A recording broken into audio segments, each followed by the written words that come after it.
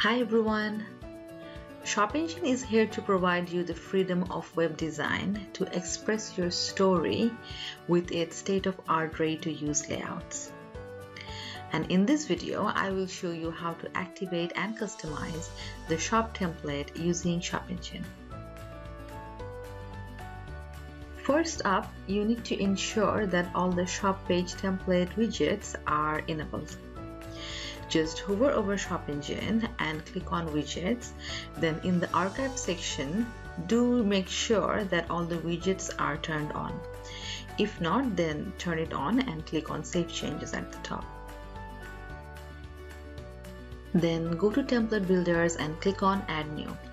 Give your template a name, anything you like. Choose Shop from the drop-down type options. Turn on the Set Default button. It is very important because it will override any existing shop templates on your store. Choose your template design.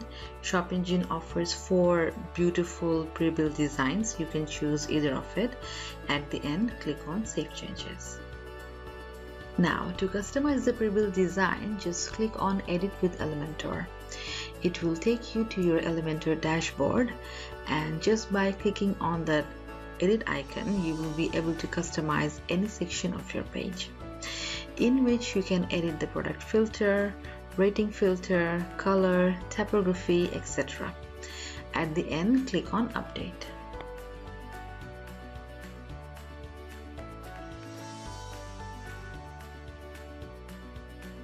To see the final look, just click on the preview button. And that's it. There you have your beautiful customized WooCommerce shop page. I hope you like it.